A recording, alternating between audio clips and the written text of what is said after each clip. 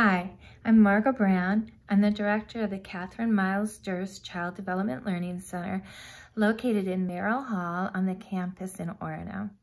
We are a site for child study, research, and teacher training, and we've been here since 1931, so we've been around a very long time.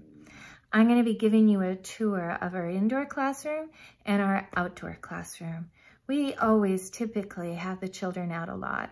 We have a beautiful campus where we can take the children on long walks. We can go look at the art museum in Lord Hall. We can go on sculpture walks. We can go look for bear statues. We follow the bear paw prints. We go down to the river and we have the farmer's market. So we like to have the children out and about on campus. This semester, because of COVID, we are outside pretty much all day. We have set up our outdoor classroom on our play yard and I'll be giving you a tour. Thank you.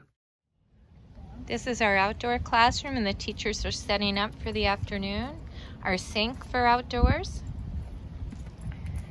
Over here, this is where the children come in. The parents sign in we take the children's temperature, check them for symptoms, and then they come over to the sink to wash their hands and they go play. Sandbox. This is our tower for climbing. Over here at this table, we have nature materials for collage. Lots and lots of glue at this school and paint. At this art table outside on the play yard, we're starting a study of Van Gogh and we're starting with sunflowers when we're working with the sunflowers here, we have magnifying glasses, paints. We'll be adding Sharpies so that they can draw them. We're starting to look closely at the materials. Art's very important to us at this school. Also, anything outside to do with nature. We do believe children need to be moving their bodies. While they're out here, they're building, thinking, running, creating, we talk about being mathematicians, engineers, scientists. We make predictions and we test our theories. Over here is our sand pit for digging. We've added dinosaurs today. This slide moves around the play yard. Sometimes it's stacked with the tires and they use it to roll cars down. It's movable. Over here we have a cozy, cozy area set up for reading and chatting. Over here's our mud kitchen.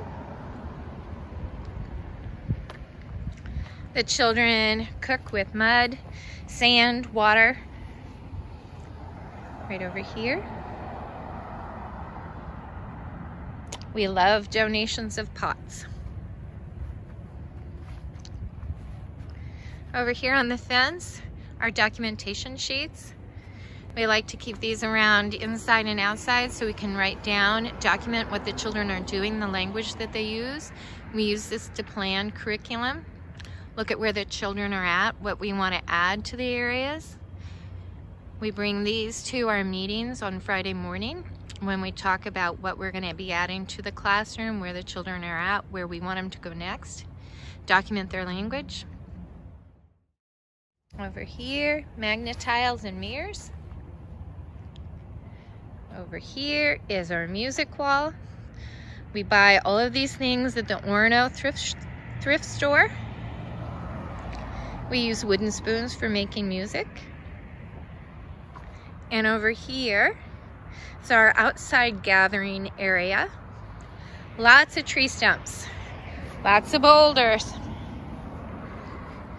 We do music out here, storytelling, snack. We have picnics every day. And this is our play yard, our outdoor nature classroom. All right, this is the classroom. This is our loft.